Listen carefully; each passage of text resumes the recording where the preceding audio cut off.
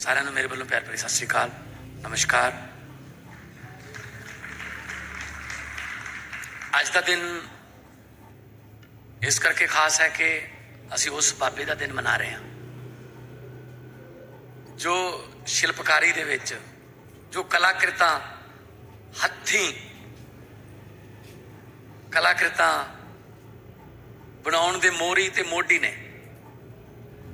ਨਿਰਮਾਣ ਦੇ ਦੇਵਤਾ ਉਹਨਾਂ ਨੂੰ ਮੰਨਿਆ ਜਾਂਦਾ ਹੈ। ਅੱਜ ਵੀ ਜਗ੍ਹਾ ਜਗ੍ਹਾ ਤੇ ਅੱਜ ਉਹਨਾਂ ਦੀ ਪੂਜਾ ਹੋ ਰਹੀ ਹੈ, ਉਹਨਾਂ ਨੂੰ ਯਾਦ ਕਰ ਰਹੇ ਹਾਂ। ਔਜ਼ਾਰ ਜਿਹੜੇ ਨੇ ਅੱਜ ਉਹਨਾਂ ਨੂੰ ਪੂਜਿਆ ਜਾ ਰਿਹਾ ਹੈ। ਉਹ ਔਜ਼ਾਰ ਉਹ ਮਸ਼ੀਨਾਂ ਜਿਹੜੀਆਂ ਜਦੋਂ ਚੱਲਦੀਆਂ ਨੇ, ਤਾਂ ਦੇਸ਼ ਦੀ ਤਰੱਕੀ ਕਰਦੀਆਂ ਨੇ। ਦੇਸ਼ ਦੀ ਤਰੱਕੀ ਦੇ ਵਿੱਚ ਯੋਗਦਾਨ ਪਾਉਂਦੀਆਂ ਨੇ। ਉਹ ਮਸ਼ੀਨਾਂ ਜਦੋਂ ਚੱਲਦੀਆਂ ਨੇ, ਤਾਂ ਬਹੁਤ ਲੱਖਾਂ ਲੋਕਾਂ ਦੇ ਚੁੱਲ੍ਹੇ ਚੱਲਦੇ ਨੇ। ਸੋ ਮੈਂ ਸਾਰਿਆਂ ਨੂੰ ਇਸ ਮੌਕੇ ਤੇ ਮੁਬਾਰਕਬਾਦ ਵੀ ਦਿੰਦਾ। ਕਿਉਂਕਿ ਇਹ ਕੋਈ ਰਾਜਨੀਤਿਕ ਫੰਕਸ਼ਨ ਨਹੀਂ ਹੈਗਾ। ਵਿਦਿਆ ਦੇ ਮੰਦਰ ਦੇ ਵਿੱਚ ਖੜੇ ਆ ਭਗਵਾਨ ਦੇ ਮੰਦਿਰ 'ਚ ਮੱਥਾ ਟੇਕ ਕੇ ਆਇਆ। ਤਾਂ ਮੈਂ ਕੋਈ ਰਾਜਨੀਤਿਕ ਗੱਲ ਨਹੀਂ ਕਰੂੰਗਾ। ਮੈਂ ਕੋਈ ਕਿਸੇ ਤੇ ਨਿੰਦਿਆ, ਚੁਗਲੀ ਜਾਂ ਆਲੋਚਨਾ ਇਹ ਕਦੇ ਫੇਰ ਕਰ ਲਾਂਗੇ। ਬਾਹਰ ਰੱਖ ਲਾਂਗੇ ਫੰਕਸ਼ਨ ਕਦੇ। ਇਹਦੇ ਵਾਸਤੇ ਹੋਰ ਬਹੁਤ ਟਾਈਮ ਹੈ। ਸੋ ਬਹੁਤ ਸਾਰੇ ਲੋਕ ਮੈਨੂੰ ਮਿਲਦੇ ਨੇ। ਆਪਣਾ ਆਪਣਾ ਫਨ ਦੱਸਦੇ ਨੇ। ਆਪਣਾ ਆਪਣੀ ਕਲਾ ਦੱਸਦੇ ਨੇ। ਪ੍ਰਮਾਤਮਾ ਨੇ ਕਿਸੇ ਨੂੰ ਵੀ ਖਾਲੀ ਨਹੀਂ ਭੇਜਿਆ ਇੱਥੇ। ਕੋਈ ਨਾ ਕੋਈ ਕਲਾ ਦੇ ਕੇ ਭੇਜਿਆ। ਕਿਸੇ ਦੀ ਲਿਖਾਈ ਬਹੁਤ ਸੋਹਣੀ ਹੁੰਦੀ ਹੈ। ਕੋਈ ਖਿਡਾਰੀ ਬਹੁਤ ਸੋਹਣਾ ਹੁੰਦਾ ਹੈ। ਕੋਈ ਗੋਲਕੀਪਰ ਬਹੁਤ ਸੋਹਣਾ ਹੈ, ਕੋਈ ਫਾਰਵਰਡ ਬਹੁਤ ਸੋਹਣਾ ਹੈ। ਤੇ ਕੋਈ ਕਲਾਕਾਰ ਬਹੁਤ ਸੋਹਣਾ ਹੈ, ਕੋਈ ਲਿਖਦਾ ਹੀ ਬਹੁਤ ਸੋਹਣਾ ਹੈ। ਤੇ ਪਰਮਾਤਮਾ ਨੇ ਸਾਨੂੰ ਕੁਛ ਨਾ ਕੁਛ ਕਲਾ ਦੇ ਕੇ ਭੇਜਿਆ ਤੇ ਬਸ਼ਰਤੇ ਕਿ ਅਸੀਂ ਉਹਨੂੰ ਇਸ ਧਰਤੀ ਤੇ ਆ ਕੇ ਉਸ ਕਲਾ ਨੂੰ ਡਿਵੈਲਪ ਕਰ ਲਈਏ, ਸਾਨੂੰ ਪਲੇਟਫਾਰਮ ਮਿਲ ਜੇ, ਉਹ ਆਪਣੀ ਕਲਾ ਨੂੰ ਉਭਾਰਨ ਦਾ। ਤਾਂ ਬਾਬਾ ਜੀ ਨੇ ਤਾਂ ਕਿੰਨੇ ਸੌ ਸਾਲ ਪਹਿਲਾਂ ਦੱਸਤਾ ਸੀ। ਜਿਵੇਂ ਭਵਨ ਕਲਾ ਦੀ ਨਿਰਮਾਣ ਦੀ ਗੱਲ ਕਰ ਰਹੇ ਨੇ, ਫਰਸ਼ ਦੀ ਗੱਲ ਕਰ ਰਹੇ ਨੇ। ਜੇ ਆਪਾਂ ਕਹਿ ਲਈਏ ਕਿ ਅੱਜ ਲੋੜ ਫੇਰ ਹੋਈ ਸਾਈਕਲ ਜਿਹੜਾ ਵਕਤ ਦਾ ਫਿਰ ਦੁਬਾਰਾ ਪਈਆ, ਉੱਥੇ ਆ ਗਿਆ। ਅੱਜ ਵੀ ਲੋੜ ਸਕਿੱਲ ਡਿਵੈਲਪਮੈਂਟ ਦੀ ਪੈ ਰਹੀ ਅੱਜ ਸਕਿੱਲਸ ਜਿਹੜੀਆਂ ਨੇ ਉਹ ਡਿਵੈਲਪ ਕਰਨੀਆਂ ਪੈਣਗੀਆਂ, ਜੋ ਬੰਦੇ ਦੇ ਵਿੱਚ ਸਕਿੱਲਸ ਨੇ, ਜੋ ਇਨਸਾਨ 'ਚ। ਅੱਜ ਸਕਿੱਲ ਡਿਵੈਲਪਮੈਂਟ ਜੋ ਹੈ, ਪੂਰੀ ਦੁਨੀਆ ਦਾ ਇੱਕ ਮੁੱਦਾ ਹੈ। ਸਕਿੱਲ ਡਿਵੈਲਪਮੈਂਟ ਬਸ। ਸੋ ਬਹੁਤ ਸਾਰੇ ਦੇਸ਼ ਨੇ ਜਿਨ੍ਹਾਂ ਨੇ ਕੈਟਾਗਰੀਜ਼ ਕਰ ਲਿਆ। ਕੈਟਾਗਰੀਆਂ ਬਣਾ ਲੀਆਂ ਸਿੰਗਾਪੁਰ ਹੈ, ਉਹਨੇ ਕੈਟਾਗਰੀ ਬਣਾ ਲਈ। ਕਿ ਕਿਹੜਾ ਬੱਚਾ ਕਿੱਧਰ ਨੂੰ ਜਾਊਗਾ, ਉਹ ਪਹਿਲਾਂ ਹੀ ਉਹਨੂੰ ਅਲੱਗ ਕਰ ਲੈਂਦੇ ਨੇ ਕਿ ਤੈਨੂੰ ਇਸੇ ਚੀਜ਼ ਦੀ ਟ੍ਰੇਨਿੰਗ ਦੇਣੀ ਹੈ। ਕੋਈ ਮਕੈਨੀਕਲ ਵੱਲ ਜਾਣਾ ਚਾਹੁੰਦਾ, ਮਕੈਨੀਕਲ ਵੱਲ ਚਲਾ ਜਾਂਦਾ ਕੋਈ ਕੰਪਿਊਟਰ ਵੱਲ ਜਾਣਾ ਚਾਹੁੰਦਾ, ਉਧਰ ਚਲੇ ਜਾਂਦਾ ਕੋਈ ਆਈਟੀ ਸੈਕਟਰ ਵੱਲ ਕਿਤੇ ਹੋਰ ਕਿਧਰੇ ਜਾਣਾ ਚਾਹੁੰਦਾ ਕੋਈ ਡਾਕਟਰੀ ਵੱਲ ਜਾਣਾ ਚਾਹੁੰਦਾ, ਉਧਰ ਚਲੇ ਜਾਂਦਾ, ਉਹਨੂੰ ਉਹੀ ਪੜਾਉਂਦੇ ਨੇ। ਬਦਕਿਸਮਤੀ ਨਾਲ ਸਾਡੇ ਕੋਲੇ, ਸਾਡੇ ਮੁਲਕ 'ਚ ਹਜੇ ਕੈਰੀਅਰ ਗਾਈਡੈਂਸ ਦੀ ਕਮੀ ਹੈ। ਸਾਨੂੰ ਕੋਈ ਦੱਸਦਾ ਨਹੀਂ ਕਿ ਅਸੀਂ ਕਿਹੜੇ ਸਬਜੈਕਟ ਪੜ੍ਹੀਏ। ਬਹੁਤ ਵਾਰੀ ਇਦਾਂ ਹੁੰਦਾ ਹੈ ਕਿ ਕਾਲਜ ਜਾਂਦੇ ਆ ਐਡਮਿਸ਼ਨ ਲੈਣ ਪ੍ਰੋਸਪੈਕਟ ਖਰੀਦ ਲੈਂਦੇ ਆ ਫਾਰਮ ਭਰ ਲੈਂਦੇ ਆ ਫਾਰਮ ਭਰਨ ਵੇਲੇ ਤੱਕ ਸਾਨੂੰ ਇਹ ਨਹੀਂ ਪਤਾ ਹੁੰਦਾ ਕਿ ਕਿਹੜੇ ਸਬਜੈਕਟ ਲੈਣੇ ਨੇ। ਕੋਈ ਨਾਲ ਜੇ ਆਪਾਂ ਇਕਨੋਮਿਕਸ ਭਰ ਦਾਂਗੇ, ਨਾਲ ਦਾ ਖੜਾ ਹੁੰਦਾ ਜਿਹੜਾ, ਉਹ ਬਾਈ ਜੀ ਬਹੁਤ ਔਖੀ ਹੈ ਇਹ, ਐ ਪੰਗਾ ਨਾ ਲਓ। ਇਹਦੇ ਨਾਲ ਤਾਂ ਤੁਸੀਂ ਐ ਕਰੋ, ਆ ਫਿਜ਼ੀਕਲ ਐਜੂਕੇਸ਼ਨ ਲੈ ਲਓ। ਕੋਈ ਫਿਜ਼ੀਕਲ ਐਜੂਕੇਸ਼ਨ ਲੈ ਲਈ ਉਹ ਭਾਈ ਤੇਰਾ ਸਰੀਰ ਫਿਜ਼ੀਕਲ ਐਜੂਕੇਸ਼ਨ ਨਾਲ ਕਿੱਥੇ ਹੈ ਤੂੰ ਸਿੱਧਾ ਪੰਜਾ- ਪੰਜਾਬੀ ਇਲੈਕਟਿਵ ਲੈ ਲਾ। ਤੋ ਮਤਲਬ ਉਸ ਵੇਲੇ ਪਤਾ ਹੀ ਨਹੀਂ ਹੁੰਦਾ ਸਾਨੂੰ ਅਸੀਂ ਕੀ ਪੜਾਂਗੇ ਉਹ ਬੰਦਾ ਸ਼ਾਇਦ ਇਕਨੋਮਿਕਸ ਦੇ ਵਿੱਚ ਵੀਕ ਹੋਵੇ। ਮੇਰੀ ਇਕਨੋਮਿਕਸ ਵਧੀਆ ਹੋਵੇ। ਸਾਨੂੰ ਕੈਰੀਅਰ ਗਾਈਡੈਂਸ ਦੀ ਬੜੀ ਕਮੀ ਹੈ। ਗਵਰਨਮੈਂਟ ਵੱਲੋਂ ਅਸੀਂ ਇਹ ਕਰ ਰਹੇ ਹਾਂ ਹੁਣ। ਕਿ ਕੈਰੀਅਰ ਦੇ ਗਾਈਡ ਜਿਹੜੇ ਨੇ ਇਦਾਂ ਦੇ ਬਣਾਈਏ, ਜਿਹੜੇ ਤੁਹਾਨੂੰ ਦੱਸਣ ਕਿ ਭਾਈ ਤੁਸੀਂ ਇੱਧਰ ਨੂੰ ਜਾ ਸਕਦੇ ਹੋ। ਆ ਆ ਸਕਿੱਲ ਤੁਹਾਡੇ ਕੋਲੇ ਹੈਗੀ ਹੈ ਜ਼ਿਆਦਾ। ਨਹੀਂ ਤਾਂ ਅਸੀਂ ਕੀ ਕਰਦੇ ਆ ਜਿਹੜਾ ਸਪੋਰਟਸ ਵਾਲਾ ਹੁੰਦਾ ਉਹਨੂੰ ਕਿਸੇ ਹੋਰ ਪਾਸੇ ਲਾਇਆ ਹੁੰਦਾ ਜਿਹੜਾ ਹੋਰ ਪਾਸੇ ਵਾਲਾ ਉਹਨੂੰ ਸਪੋਰਟਸ ਲਾਇਆ ਹੁੰਦਾ ਸੋ ਬਹੁਤ ਘੱਟ ਇਸ ਤਰ੍ਹਾਂ ਦੀਆਂ ਲੋਕ ਨੇ ਜਿਨ੍ਹਾਂ ਨੂੰ ਆਪਦੇ ਪੈਸ਼ਨ ਮੁਤਾਬਕ ਪ੍ਰੋਫੈਸ਼ਨ ਵੀ ਮਿਲ ਜੇ। ਕਿ ਉਹੀ ਪੈਸ਼ਨ ਹੋਵੇ, ਉਹੀ ਪ੍ਰੋਫੈਸ਼ਨ ਹੋਵੇ। ਬਹੁਤ ਘੱਟ ਹੈ।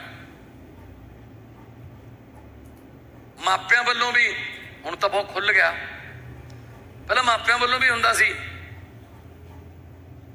ਡਾਕਟਰ ਬਣਨਾ ਹੈ।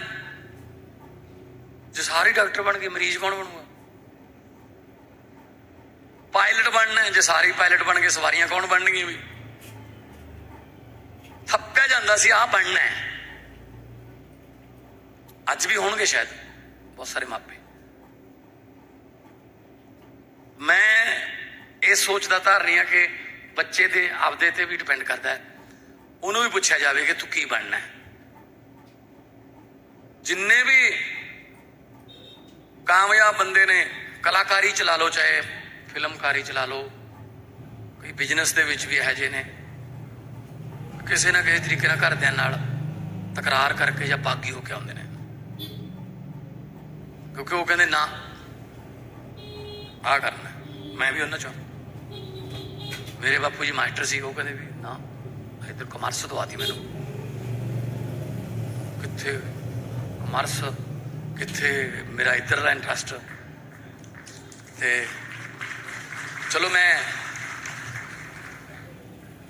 ਉਹਨਾਂ ਦੀ ਕਹੇ ਨੂੰ ਪਾਲਿਆ ਮੈਂ, ਫੁੱਲ ਚੜਾਏ ਉਹਨਾਂ ਦੇ ਹੁਕਮਾਂ ਤੇ। ਬੀਕਾਮ ਵਾਲੇ ਪਾਸੇ ਗਿਆ, ਪਰ ਨਾਲ ਨਾਲ ਮੇਰੀ ਕਲਾ ਵਾਲਾ ਪਾਸਾ ਵੀ ਮੇਰੇ ਅੰਦਰੋਂ ਉੱਠਦਾ ਸੀ ਬਲਬਲੇ ਤਾਂ ਫਿਰ ਜਦੋਂ ਮੈਂ ਲੁਧਿਆਣੇ, ਪਹਿਲਾਂ ਯੂਥ ਫੈਸਟੀਵਲਾਂ 'ਚ ਫਿਰ ਮੈਂ ਲੁਧਿਆਣੇ ਆਇਆ। ਤੇ ਇੱਥੋਂ ਕੈਸਟ, ਉਦੋਂ ਕੈਸਟ ਵਗੈਰਾ ਚੱਲਦੀਆਂ ਸੀ। ਸੀਡੀਆਂ ਆ ਗਈਆਂ ਬਾਅਦ ਸੋ ਉਦੋਂ ਫਿਰ ਮੈਂ ਇੱਥੋਂ ਸ਼ੁਰੂ ਹੋਇਆ। ਸੋ ਲੁਧਿਆਣਾ ਜਿਹੜੀ ਹੈ, ਉਹ ਮੇਰੀ ਕਰਮ ਭੂਮੀ ਹੈ। ਸੰਗਰੂਰ ਦਾ ਪਿੰਡ ਸਤੌਜ ਮੇਰੀ ਜਨਮ ਭੂਮੀ ਹੈ। ਲੁਧਿਆਣਾ ਮੇਰੀ ਕਰਮ ਭੂਮੀ ਹੈ, ਜਿੱਥੇ ਮੈਨੂੰ ਔਰ ਉਹਨਾਂ ਦੇ ਬਾਬਾ ਜੀ ਦੇ ਨਾਮ ਚ ਵਿਸ਼ਵ ਕਰਮਾ ਹੈ। ਸੋ ਕਰ, ਮਤਲਬ ਕਰਮ ਭੂਮੀ, ਮਤਲਬ ਜਿੱਥੇ ਤੁਸੀਂ ਕੰਮ ਮਿਲਿਆ, ਜਿੱਥੇ ਤੁਸੀਂ ਕੰਮ ਕਰ ਰਹੇ ਹੋ। ਪਰ ਹੁਣ ਤਾਂ ਤੁਸੀਂ ਮੈਨੂੰ ਸਾਰੇ ਪੰਜਾਬ 'ਚ ਹੀ ਕਰਮ ਭੂਮੀ ਬਣਾਤੀ। ਮੈਨੂੰ ਹੀ ਮੇਰੀ ਜ਼ਿੰਮੇਵਾਰੀ ਵੱਡੀ ਲਾਤੀ। ਸੋ ਇਹ ਜ਼ਰੂਰੀ ਹੈ ਕਿ ਆਪਾਂ ਸਕੂਲਾਂ, ਕਾਲਜਾਂ ਦੇ ਵਿੱਚ ਉਹ ਸਬਜੈਕਟ ਪੜ੍ਹਾਈਏ, ਉਹ ਸਕਿੱਲਸ ਦਸੀਏ ਬੱਚਿਆਂ ਨੂੰ, ਜਿਹੜੇ ਅੱਗੇ ਸਕੂਲ, ਕਾਲਜ ਦਾ ਗੇਟ ਨਿਕਲ ਸਾਰ ਉਹਨੂੰ ਕੰਮ ਆਉਂਦੇ ਹੋਣ। ਉਹਨੂੰ ਕਿਸੇ ਪਾਸੇ ਇਧਰ ਉਧਰ ਦੇਖਣਾ ਨਾ ਪਵੇ।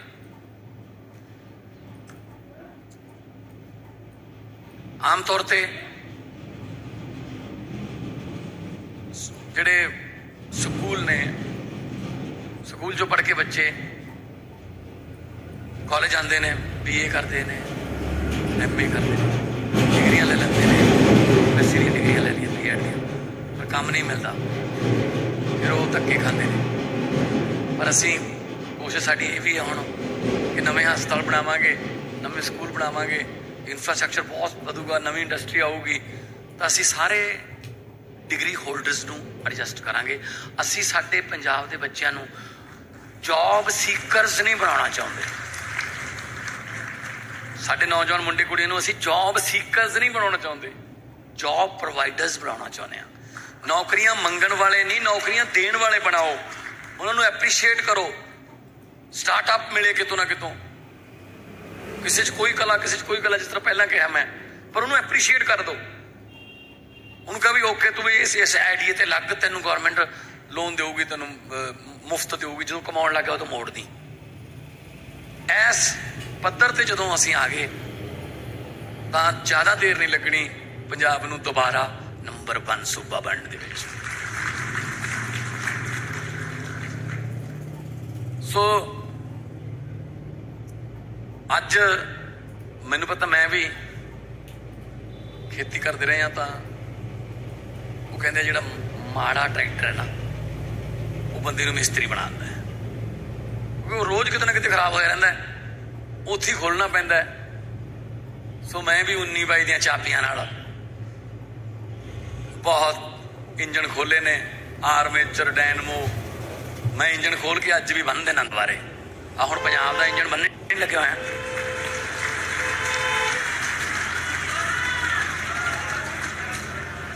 ਹਾਲਾਂਕਿ ਪੰਜਾਬ ਦੇ ਇੰਜਨ ਚੋਂ ਬਹੁਤ ਸਾਰੇ ਪੁਰਜੇ ਚੋਰੀ ਹੋ ਗਏ।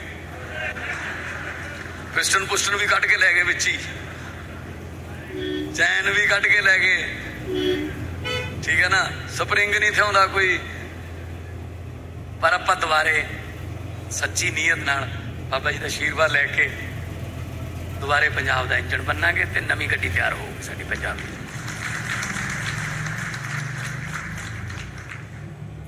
ਸੋ ਦੇਸ਼ ਦੇ ਵਿੱਚ ਜੋ ਮਾਹੌਲ ਹੈ, ਉਹ ਲੋਕਤੰਤਰ ਲਈ ਕਾਫੀ ਚਿੰਤਾਜਨਕ ਹੈ। ਫੈਡਰਲ ਸਟਰਕਚਰ ਜਿਹੜਾ ਹੈ, ਉਹ ਉਹਦੇ ਲਈ ਚਿੰਤਾਜਨਕ ਹੈ। ਨਫ਼ਰਤ ਦੀਆਂ ਗੱਲਾਂ ਹੋ ਰਹੀਆਂ ਨੇ। ਨੇ, ਤੂੰ ਐਸ ਸਮਾਜ ਦਾ ਹੈ, ਉਹ ਐਸ ਸਮਾਜ ਦਾ ਹੈ। ਐਸ ਸਮਾਜ ਵਾਲੇ, ਐਸ ਸਮਾਜ ਵਾਲੇ ਨੂੰ ਨਾ ਬੁਲਾਇਆ ਕਰੋ। ਉਹ ਸਮਾਜ ਵਾਲੇ ਇੱਧਰ ਨਾ ਆਇਆ ਕਰੋ, ਉਹ ਇੱਧਰ ਨਾ ਜਾਇਆ ਕਰੋ, ਇਹ ਇਹ ਚੀਜ਼ਾਂ ਨਹੀਂ। ਦੇਖੋ, ਜਿਹੜਾ ਗੁਲਦਸਤਾ ਹੈ, ਜਿਹੜਾ ਫੁੱਲਾਂ ਦਾ ਬਾਗ ਹੈ ਮੁਗਲ ਗਾਰਡਨ ਹੈ, ਰਾਸ਼ਟਰਪਤੀ ਭਵਨ ਚ। ਹਰ ਰੋਜ਼ ਹਜ਼ਾਰਾਂ ਲੋਕ ਉਹਨੂੰ ਦੇਖਣ ਜਾਂਦੇ ਆ। ਆਪਾਂ ਵੀ ਪਾਰਕਾਂ 'ਚ ਫੁੱਲ ਲੱਗੇ ਨੇ, ਆਪਾਂ ਦੇਖਣ ਜਾਂਦੇ ਆ। ਆਪਾਂ ਆਪਣੇ ਘਰੇ ਫੁਲਵਾੜੀ 'ਚ ਫੁੱਲ ਲਾਉਨੇ ਆ। ਕਿਉਂ ਦੇਖਣ ਜਾਂਦੇ ਆ ਲੋਕ ਫੁੱਲਾਂ ਦੇ ਗੁਲਦਸਤੇ ਨੂੰ ਜਾਂ ਫੁੱਲਾਂ ਦੇ ਗਾਰਡਨ ਨੂੰ, ਕਿਉਂਕਿ ਉਹਦੇ ਵਿੱਚ ਹਰੇਕ ਫੁੱਲ ਦਾ ਆਪਣਾ ਆਪਣਾ ਰੰਗ ਹੁੰਦਾ ਹੈ।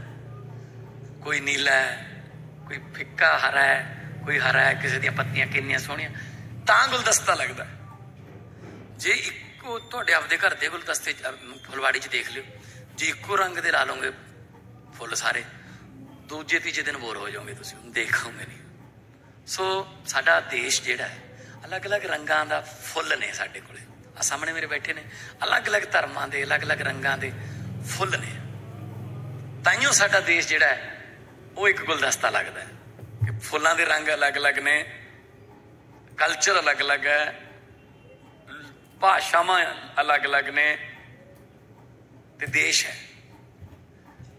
ਪਾਰਲੀਮੈਂਟ 'ਚ ਡਿਬੇਟ ਚੱਲ ਰਹੀ ਸੀ ਉਦੋਂ ਮੈਂ ਐਮਪੀ ਦੇ ਤੌਰ ਤੇ ਸੀ ਕਿ ਜੀ ਆਹ ਸਮਾਜ ਨੂੰ ਐ ਕਰ ਦਿਆਂਗੇ, ਉਹਨੂੰ ਆ ਕਰ ਦਿਆਂਗੇ ਬੜੇ ਬੜੇ ਡੇਢ ਡੇਢ ਘੰਟੇ ਦੇ ਭਾਸ਼ਣ ਦਿੱਤੇ। ਬੋਲੀ ਗਏ, ਆਪਸ 'ਚ ਲੜੀ ਗਏ। ਮੈਂ ਬੈਠਾ ਦੇਖੀ ਗਿਆ, ਮੈਂ ਕਿਹਾ ਚਲੋ ਕੋਈ ਨਹੀਂ ਫਿਰ ਮੇਰੀ ਵਾਰੀ ਆਉਣੀ ਸੀ। ਮੈਂ, ਕਿਉਂਕਿ ਮੈਂ ਇੱਕੋ ਹੀ ਐਮਪੀ ਸੀ, ਅਖੀਰ ਦੇ ਵਿੱਚ ਹੀ ਆਉਣੀ ਹੁੰਦੀ ਸੀ ਵਾਰੀ। ਅਖੀਰ ਵੀ, ਉਹ ਕਹਿੰਦੇ ਜੀ ਬਹੁਤ ਲੇਟ ਹੋ ਗਏ, ਚਲੋ ਛੱਡੋ ਹੁਣ, ਮੰਤਰੀ ਸਾਹਿਬ ਨੇ ਜਵਾਬ ਦੇਣਾ ਹੈ। ਮੈਂ ਕਿਹਾ ਸਪੀਕਰ ਸਾਹਿਬ ਥੋੜਾ ਟਾਈਮ ਤਾਂ ਦੇ ਦਿਓ। ਆਮ ਆਦਮੀ ਪਾਰਟੀ ਵੱਲੋਂ ਆ ਮੈਂ ਇੱਕ ਪਾਰਟੀ ਨੂੰ ਰਿਪਰੈਜ਼ੈਂਟ ਕਰਦਾ। ਨਹੀਂ ਨਹੀਂ, ਕਹਿੰਦੇ ਹੁਣ ਹੋ ਗਿਆ, ਸਾਰੇ ਬੋਲ ਲਏ ਹੁਣ। ਮੈਂ ਕਿਹਾ, ਸਰ 30 ਸੈਕਿੰਡ ਦੇ ਦਿਓ। 30 ਸੈਕਿੰਡ ਚ ਕੀ ਬੋਲੇਗਾ ਮੈਂ ਕਿਹਾ, ਸਰ ਇਹਨਾਂ ਵਾਲੇ ਡੇਢ ਘੰਟੇ ਤੋਂ ਵਧੀਆ ਬੋਲੂੰਗਾ 30 ਸੈਕਿੰਡ ਦੇ ਦਿਓ ਕਹਿੰਦੇ ਚੱਲ ਠੀਕ ਹੈ ਲੈ 30 ਸੈਕਿੰਡ ਮੈਂ ਕਿਹਾ ਜੀ ਬਹੁਤ ਸਾਰੇ ਬੁਲਾਰੇ ਬੋਲੇ ਨੇ ਆ ਸਮਾਜ ਨੂੰ ਐ ਕਰ ਦਿਆਂਗੇ ਇਹਨੂੰ ਐ ਕਰ ਦਾਂਗੇ ਇਹਨੂੰ ਆ ਜੋੜਾਂਗੇ ਇਹਨੂੰ ਐ ਤੋੜਾਂਗੇ मैं मैं तो ये कहना चाहूंगा लंबे सफर को मीलों में मत बांटिए लंबे सफर को मीलों में मत बांटिए कौम को कबीलों में मत बांटिए एक बहता दरिया है मेरा भारत देश इसको नदियों और झीलों में मत बांटिए ਸੋ ਸਾਡਾ ਦਰਿਆ ਵਰਗਾ ਦੇਸ਼ ਹੈ ਇਹਨੂੰ ਵਗਣ ਦਿਓ ਆਪ ਮੁਹਾਰੇ ਵਗਣ ਦਿਓ ਇਹਨੂੰ ਕਿਉਂ ਇਹਨੂੰ ਤੁਸੀਂ ਪਾਣੀ ਦੇ ਵਹਾਅ ਬਦਲੀ ਜਾਂਦੇ ਹੋ ਝੀਲਾਂ ਬਣਾਵਾਂਗੇ ਇਹਦੇ ਚੋਂ ਕੱਢ ਕੇ ਕਰਾਂ ਸੋ ਇਸ ਕਰਕੇ ਇਨਸਾਨੀਅਤ ਜਿਹੜੀ ਹੈ ਉਹ ਸਭ ਤੋਂ ਵੱਡਾ ਧਰਮ ਹੈ ਸਾਡੇ ਗੁਰੂਆਂ ਪੀਰਾਂ ਨੇ ਇਹੀ ਦੱਸਿਆ ਸਾਡੇ ਕੋਲ ਤਾਂ ਇੰਨਾ ਖਜ਼ਾਨਾ ਹੈ ਸ਼ਹੀਦ। ਸਾਡੇ ਫਕੀਰ। ਸਾਡੇ ਕੋਲ ਤਾਂ ਅੱਜ ਅਸੀਂ ਮਤਲਬ ਫਰੀਦਕੋਟ ਦੇ ਵਿੱਚ ਬਾਬਾ ਫਰੀਦ ਦਾ ਮੇਲਾ ਲੱਗਦਾ। ਅਸੀਂ ਇੱਕ ਦੂਜੇ ਦੇ ਤਿਉਹਾਰਾਂ ਦੇ ਜਿਹੜੇ ਨੇ, ਉਹ ਉਹ ਮਨਾਉਨੇ ਆ ਦਿਨ। ਤੁਸੀਂ ਦੇਖੋ, ਜੇ ਥੋੜੇ ਜਿਹਾ ਗੌਰ ਨਾਲ ਦੇਖੀਏ। ਕਹਿੰਦੇ ਜੀ, ਰਮਜ਼ਾਨ ਕਹਿੰਦੇ ਜੀ ਮੁਸਲਮਾਨਾਂ ਦਾ ਤਿਉਹਾਰ ਹੈ। ਪਰ ਜੇ ਰਮਜ਼ਾਨ ਨੂੰ ਅੰਗਰੇਜ਼ੀ 'ਚ ਲਿਖਣਾ ਹੋਵੇ, ਕਿਵੇਂ ਲਿਖੋਗੇ? R A M Z A N ਪਹਿਲੇ ਤਿੰਨ ਅੱਖਰ ਕੀ ਬਣਦਾ ਜੀ? ਰਾਮ। ਕਹਿੰਦੇ ਜੀ ਦੀਵਾਲੀ। ਕਹਿੰਦੇ ਹਿੰਦੂਆਂ ਦਾ ਤਿਉਹਾਰ ਹੈ ਜੀ। ਮਨ ਮਨਾਉਣਾ ਨਹੀਂ ਤਾਂ ਸੀ ਦੀਵਾਲੀ ਨੂੰ ਅੰਗਰੇਜ਼ੀ 'ਚ ਲਿਖੀਏ D I W A L I ਆਖਰੀ ਤਿੰਨ ਅੱਖਰਾਂ ਦਾ ਕੀ ਬਣਦਾ ਜੀ? ਅਲੀ। ਸਾਡੇ ਦੇਵਤਿਆਂ ਦੇ ਨਾਮ ਇੱਕ ਦੂਜੇ ਦੇ ਤਿਹਾਰਾਂ 'ਚ ਨੇ ਤੇ ਅਸੀਂ ਕਹਿੰਦੇ ਇਹਦਾ ਇਹਦਾ ਦੱਸੋ। ਇਧਰ ਅਲੀ ਹੈ ਉਧਰ ਰਾਮ ਰੁੱਕ ਕੇ ਠਹਿਰ ਕੇ ਸਮਾਜ ਪ੍ਰਤੀ ਵੀ ਜ਼ਿੰਮੇਵਾਰੀਆਂ ਨੇ, ਉਹ ਵੀ ਨਿਭਾਉਣੀਆਂ ਚਾਹੀਦੀਆਂ। ਕਿਸੇ ਬੰਦੇ ਨੇ ਭਗਤੀ ਕੀਤੀ, ਤਾਂ ਦੇਵਤਾ ਪ੍ਰਗਟ ਹੋ ਗਏ। ਉਹ ਦੇਵਤਾ ਨੇ ਕਿਹਾ, ਮੈਂ ਤੇਰੀ ਭਗਤੀ ਤੋਂ ਬਹੁਤ ਖੁਸ਼ ਹਾਂ। ਤੂੰ ਮੰਗ ਲੈ ਜੋ ਮੰਗਣਾ ਹੈ। ਮੈਂ ਤੇਰੀ ਭਗਤੀ ਤੋਂ ਖੁਸ਼ ਹਾਂ। ਪਰ ਤੇਰੇ ਗਵਾਂਢੀ ਨੇ ਤੇਰੇ ਨਾਲੋਂ ਦੁੱਗਣੀ ਭਗਤੀ ਕੀਤੀ ਹੋਈ ਹੈ। ਚਲੋ ਹੁਣ ਆਇਆ ਤਾਂ ਹੈਗਾ ਹੀ ਆ ਮੈਂ ਇਸ ਕਲੋਨੀ 'ਚ। ਚਲੋ ਉਹਨੂੰ ਵੀ ਉਹਦਾ ਫਲ ਦੇ ਦਿੰਨੇ ਆ। ਤੂੰ ਜੋ ਮੰਗੇਗਾ ਉਹਨੂੰ ਦੁੱਗਣਾ ਮਿਲੂ ਗਵਾਂਢੀ ਨੂੰ। ਜੇ ਤੂੰ 10 ਲੱਖ ਮਿਲ ਮੰਗਿਆ, ਉਹ 20 ਲੱਖ ਮਿਲੂ ਉਹਨੂੰ। ਜੇ ਤੂੰ ਇੱਕ ਕਾਰ ਮੰਗੇਗਾ, ਉਹਨੂੰ ਦੋ ਮਿਲਣਗੀਆਂ। ਤਾਂ ਫਿਰ ਉਹਨੇ ਕਿਹਾ ਦੇਵਤਾ ਨੂੰ, ਕਹਿੰਦਾ, ਦੇਵਤਾ ਜੀ, ਫਿਰ ਐਂ ਗੱਲ ਹੈ? ਕਹਿੰਦੇ, ਹਾਂਜੀ। ਕਹਿੰਦਾ, ਜੀ, ਸੁਣਿਆ। ਐਨੇ ਸੰਜਮ ਨਾਲ ਸੁਣਿਆ। ਮਾਣ ਸਤਿਕਾਰ ਦਿੱਤਾ। ਮੈਂ ਤੁਹਾਡਾ ਲੁਧਿਆਣਾ ਵਾਸੀਆਂ ਦਾ ਬਹੁਤ ਬਹੁਤ ਧੰਨਵਾਦ ਕਰਦਾ। ਬਹੁਤ ਬਹੁਤ ਮਿਹਰਬਾਨੀ। ਸਤਿ ਸ੍ਰੀ ਅਕਾਲ। ਭਗਵਾਨ ਵਿਸ਼ਵਕਰਮਾ ਕੀ? ਜੈ ਵਾਹਿਗੁਰੂ ਜੀ ਕਾ ਖਾਲਸਾ। ਵਾਹਿਗੁਰੂ ਜੀ